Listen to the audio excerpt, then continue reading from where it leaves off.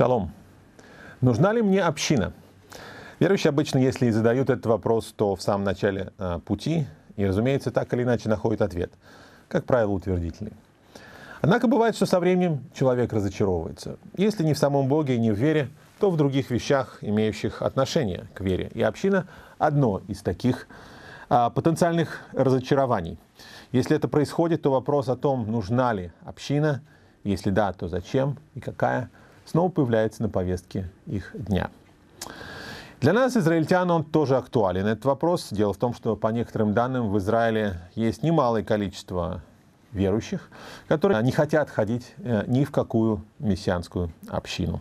Некоторые из них предпочитают традиционные христианские конфессии и начинают посещать богослужения в католической, православной, лютеранской или англиканской церквях. На их счастье в Израиле, по крайней мере, католические есть и лютеранские приходы, где служба идет на иврите.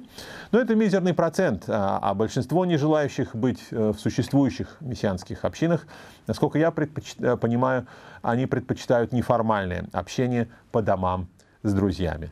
Ну и, конечно, наверняка есть и такие, кто вообще считает веру а, делом сугубо частным и ограничивается либо исключительно личной духовной жизнью, либо в лучшем случае молитвой и духовным общением в кругу семьи или с одним-двумя близкими друзьями.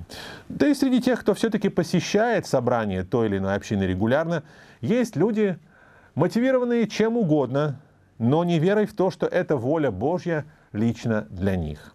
Одни приходят, потому что испытывают постоянные финансовые затруднения, а община, в принципе, иногда может своим членам помочь. Другие ради детей, которые с удовольствием ходят на детское или молодежное служение. Третьи, потому что у них вообще не друзья, и это единственный или, по крайней мере, очень важный способ как-то поддерживать отношения с этими друзьями. А, то есть это, в общем, ради дружбы делается. Четвертые приходят на собрание для того, чтобы не подпортить свою репутацию благонадежного мессианского верующего, такого кошерного, у которого все, что должно быть у порядочного верующего в жизни, есть, репутацию, которая по тем или иным причинам важна для них, мало ли в каких ситуациях. Пятое приходит просто по инерции, которая выработалась годами, по привычке. Итак, что мы видим? Деньги, дети, дружба, репутация, привычка, в общем, все, что угодно – но не вера в Бога. Это не значит, что человек не верит в Бога вообще, который вот руководствуется одним из этих мотивов, приходя на собрание общины. Вполне возможно, он верит и верит очень искренне. Однако эта вера не является основным фактором, мотивирующим его посещать собрание общины и так или иначе участвовать в ее жизни. Другими словами, что получается? Получается, что есть большой шанс, что когда черная полоса финансовых трудностей останется позади, или когда дети вырастут и сделают свой собственный выбор в вопросах веры, и вообще все прочие а, перечисленные факторы а, перестанут, быть, перестанут быть актуальными, друзья разъедутся по другим городам и так далее, привычки вдруг поменяются. Когда все это произойдет, в один прекрасный такой день человек, возможно, перестанет – ходить в общину. У него просто исчезнут все те а, мотивации, которые у него были до сих пор. Во всяком случае, он перестанет ходить в эту конкретную общину, которую он посещает сейчас. И тогда перед ним снова встанет вопрос. А теперь-то нужна мне община по-прежнему? Ну, если нужна, то зачем и какая? Ну, а если вдруг таких вот людей вот в конкретной общине – наберется критическая масса, и они решат покинуть общину более-менее одновременно, или вызовут цепную реакцию себе подобных, которые пока что сидели ни о чем не думали, а тут глянь, один ушел, другой ушел, то вопросы вскоре начнут возникать также и у руководства этой общины о том, что вообще происходит и как жить дальше. Вот это было вместо предисловия. Ну а теперь попытаемся ответить на сам вопрос. Если сформулировать его чуть иначе и спросить, ощущаю ли я свою нужду в общине – то ответ, по крайней мере, мой ответ зачастую будет нет. А, потому что поход в общину для меня это не завтрак, а, не теплое одеяло и не поцелуй жены, нужду в которых я могу ощущать, соответственно, там, утром на голодный желудок, холодной ночью а, или в заграничной командировке. Приходя в общину, я сплошь и рядом а, ничего особенного не ощущаю и не руководствуюсь ощущениями, планируя поход туда. А, в субботу. Я подчеркиваю это по той простой причине, что живем-то мы сегодня с вами в так называемой культуре потребления. Идолы этой культуры – это наши «я хочу», «мне нужно», «мне нравится». Ну, еще есть вот такой идол, который выражается фразой «у нее есть, так почему нет у меня?» Или «у него есть, почему нет у меня?» Ну и так далее. То есть в этой культуре все вертится вокруг меня, моих желаний и моих приятных ощущений. Моего комфорта, моих потребностей и моих приятных эмоций, связанных с удовлетворением этих потребностей.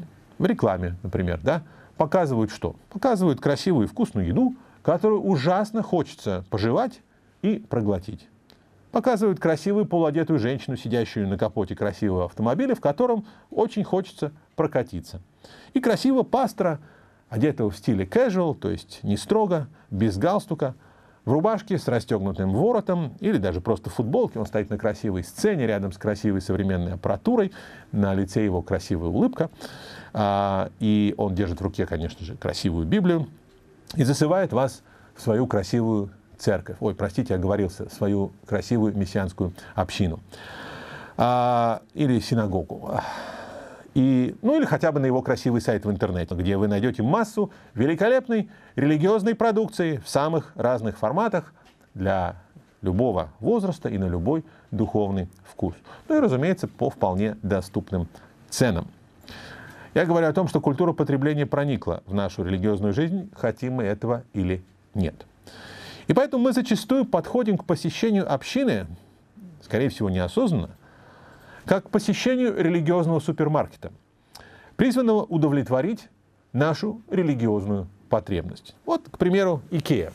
Прекрасное место для семейного времяпрепровождения. Удобная парковка, Прекрасная детская игровая площадка внутри, красивая, безопасная, уютный и доступный по ценам кафетерий, а, где предлагают к тому же еще заморскую еду, нечто особенное. Ну и, само собой, все для дома и для офиса. Вот такой должна быть и община. Сплошная приятность, удобство и комфорт для всех и во всем – Музыка, пение, проповедь, детское и молодежное служение, аппаратура, парковка, улыбчивый и предупредительный штат. Одним словом, место, в которое тебе захочется вернуться. Место, на которое ты подсядешь, как садятся на иглу. И где с удовольствием будешь проводить пару часов в неделю. Больше не обязательно. Потому что все, что там происходит, это приятно, и бесплатно.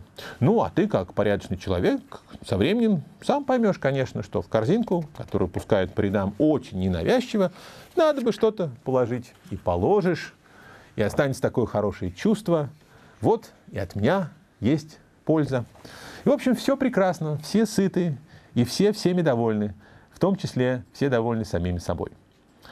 Я совсем не хочу сказать всем этим, а, всей этой иронией, а, что вообще не должно быть что-то а, неприятное обязательно, или что руководитель или проповедник должен быть при галстуке, а иначе это не община, упаси Боже.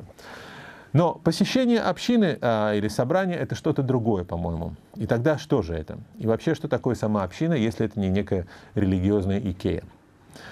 Прежде всего, давайте договоримся, что когда речь идет о Господе Боге и Его планах на нас и на нас, нашу жизнь, Наши ощущения, к которым мы так любим прислушиваться в, нашей, в наш век э, культуры потребления, наши ощущения в качестве источника информации хороши, но лишь до определенного предела. В какой-то момент они подведут нас. Если мы не хотим сбиться с курса, нам придется обратиться за информацией к более надежному источнику, к священному писанию. Уж простите за такую банальность, но без нее здесь никуда. А Писание все Писание, начиная с обетований Аврааму, говорит о том, что Бог хочет, чтобы у него был народ. Конечно, любой народ состоит из отдельных людей. И, конечно, на примере того же Авраама мы понимаем, что личная вера – это то, с чего в отношениях с Богом все начинается, но ни в коем случае не заканчивается.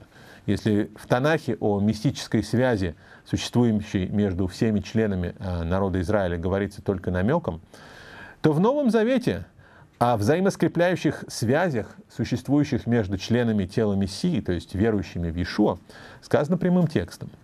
Вера в Мессию Иешуа соединяет меня как с Ним самим, так и с другими верующими в Него, невидимым, но совершенно реальным образом. Эта связь настолько же реальна, как и связь, существующая между мужем и женой.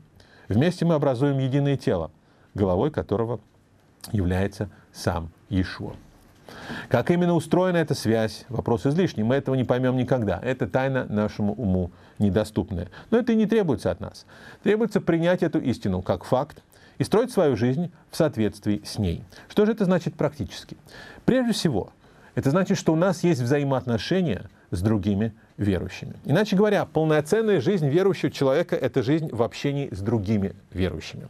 Верующий одиночка – это не нонсенс в таких экстремальных ситуациях, как тюремное заключение, служба на подводной лодке и так далее, но вообще это такой же нонсенс, как нормально функционирующая рука, которая отрезана от тела. А, любой орган, будучи отделенным от тела, умирает, и причем довольно быстро. И вот здесь что-то похожее. Ну, возможно, все это не вызывает у вас никаких возражений. Может быть, э, кто-то, какой-нибудь мессианский диссидент скажет, а я и не одиночка. Я встречаюсь с верующими друзьями регулярно. Даже мы вместе с ними читаем Танах и Новый Завет, мы рассуждаем над прочитанным, мы молимся и даже хлебопреломление совершаем. Чем же это вам не община? Все как в книге «Деяния апостолов». Преломляем хлеб по домам в простоте и веселье сердца. Нам так хорошо вместе. У нас такое потрясающее духовное общение. Мы такие откровения получаем, разбирая Тору на иврите. Чем мы хуже вас? Тем, что не слушаем проповеди вашего пастора, что ли? Пастора его проповеди – это отдельная тема, но вначале нужно сказать вот о чем. Такие группы формируются, а, как правило, самими ее участниками, которые подбирают кого? Угадайте с трех раз. Себе подобных. Иными словами, мерой всех вещей в таких группах остается человек с его вкусами и предпочтениями. Пускай вкусами и предпочтениями богословскими или духовными, какая разница, суть дела это не меняет. Это все равно его личные человеческие вкусы и предпочтения. Это с одной стороны. А с другой, а, община Мессии – это место, где царствует не человек, а сам Мессия. Что это значит? Призвав Петра и Андрея следовать за собой, Иешуа не советовался с ними, понравится ли Петру и Андрею общество Иакова и Иоанна. И что они думают по поводу политических взглядов Шимона Зелота. Он выбрал себе ученики людей, которые сами никогда бы друг друга, скорее всего, не выбрали. Ну подумайте, ну какой здравомыслящий человек захотел бы долго находиться в обществе Фомы? Если бы право выбирать предоставили им, они бы выбрали так, как мы выбираем себе друзей, людей нашего круга, по себе. Так можно выбирать мужа или жену, так можно выбирать друзей в обычном, а, мирском смысле этого слова. Но в Царстве Божьем дружба основывается не на наших взаимных личных симпатиях и даже не на сходстве проблем, взглядов и интересов, а на выборе Господа и нашем послушании Ему. Господь очень часто соединяет вместе людей, которые кажутся чисто по-человечески несовместимыми. Его цель при этом – научить нас любить других так, как любит нас Он сам. Своей любовью, которая по-гречески называется агапе. Научить любить тех, кого нам любить нелегко, или трудно, или просто невозможно. Кого любить чисто по-человечески, то есть любовью филио, мы не можем, потому что уж слишком разные мы. И вот эту цель единственную, по-настоящему важную, большинство таких мессианских тусовок перед собой не ставят. А значит, и общиной их называть не совсем правильно, мягко выражаясь. Мы продолжим этот разговор через неделю. Спасибо. Шалом. Мессианский центр «Возвращенные на Сион» из Израиля ставит перед собой цель рассказать Израилю о мессианстве Иешуа, а также передать свежее послание из Сиона. Присоединяйтесь к нам и следите за нашими обновлениями на сайте www.oasisdefismedia.tv.